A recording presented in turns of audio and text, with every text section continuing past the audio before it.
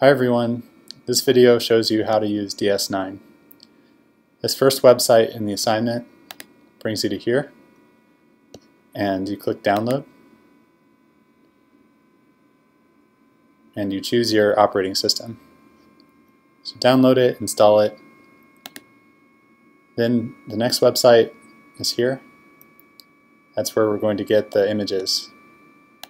Retrieve from box has POS1 red. So that's what you want. Um, if you click one of these, it'll, it'll bring up this instruction about what a valid format is for, um, for the part of the sky you choose. So don't use these numbers, use some other numbers, but use the same formatting like hours, minutes, seconds. And then um, the D means degrees, arc minutes, arc seconds for the declination. So that's how you write the RA and dec. And they're here. I've renamed them with FITS extensions as it said. So now um, with DS9 installed I can open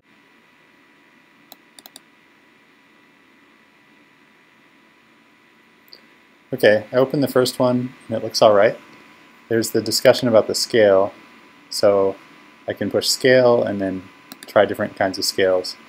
It looks a little washed out. This really emphasizes the stars and puts black everywhere else.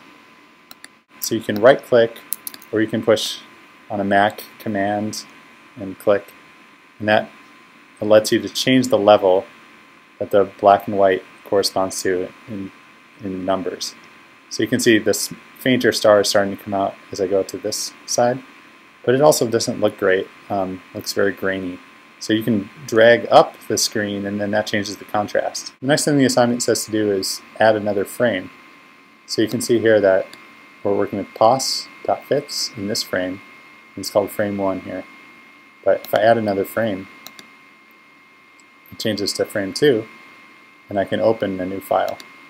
File, I'll open that HST one. So now I can uh, toggle between the two frames. Um, if I go back and forth, oh, they're not lined up. Can't tell what stars are moving because they're all moving. Frame, match, frame, world coordinate system. Alright, so it turned it a little bit. And then when I toggle back and forth, ah, they're both, both looking about the same. So I don't see anything really obvious moving around here. Um, I can mount a little bit and do the frame matching again.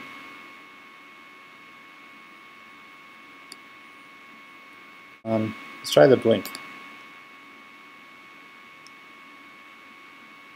Whoop, here's one. It's definitely moving. If I, if I look at other stars, they just kind of stay the same to within a few pixels. But this one's really cruising. Select Edit Region. Circle. Okay, great. So I'm going to come over here and draw a little circle on it. And I'm I can drag it around. Let's make this a little smaller. Ah, yeah, now I'm right on top of that star. So I can go on the star and write down the RA and dec. It's a kind of funny format with colons, but it just means hours, minutes, arc seconds for RA, and degrees, arc minutes, arc seconds for dec. Toggle to the other frame. Oh yeah, to do the linking now that I've moved around. Match, frame, world coordinate system. Now I should be able to toggle back and forth. Okay, great. So, so I'm going to change the contrast again. Oh yeah, that makes it really clear. Most of the flux is on this one pixel. So I can locate the star even better.